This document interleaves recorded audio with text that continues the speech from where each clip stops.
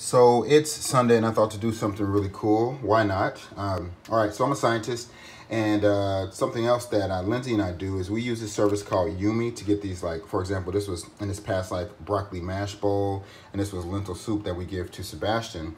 But um, I thought these little containers are really cool because they're plastic and they're clear. So I figured instead of throwing them away and contributing to the landfills, that I repurposed them, and I, took the stickers off these, I will for these too, but I repurposed them to uh, grow some avocados.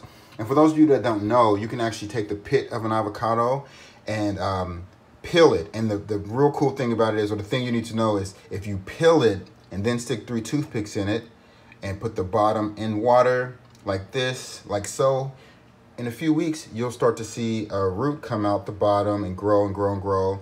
And then it'll crack open and the avocado baby tree will come out, a stem or whatever will come out.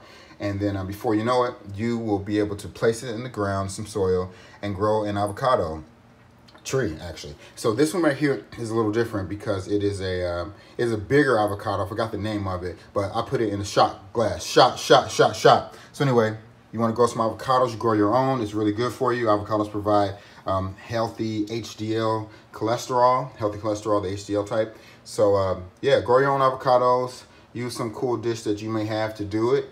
And um, in about 10 years, you too can go to the, the uh, organic market like me and sell your avocados. Ashley's avocados coming soon, summer 2029.